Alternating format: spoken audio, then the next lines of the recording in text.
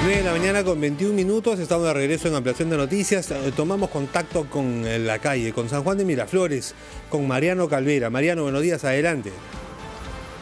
Gracias, eh, Ricardo. Compañeros, directo en directo, Puente Humamarca, ubicado en San Juan de Miraflores, denuncia que nos llega a través del rotafono de RPP. Este puente nos indica que hace dos días que ha sido clausurado para hacer un eh, tipo de mantenimiento a cargo de rutas de Lima. Sin embargo, la gente a esta hora está cruzando por en medio de la Panamericana Sur. No están respetando, digamos, el siguiente puente que hay que mencionarlo, está a unos 500 metros. Están cruzando, incluso hay personas que se quedan atrapadas en la berma de esta vía rápida, justamente por la velocidad de los vehículos y no pueden cruzar arriesgando su vida. Vamos a conversar con una de las comerciantes que obviamente está muy preocupada por la situación de las personas. Señora, ¿cómo está? Bienvenida RPP. La gente cruza exponiendo su integridad.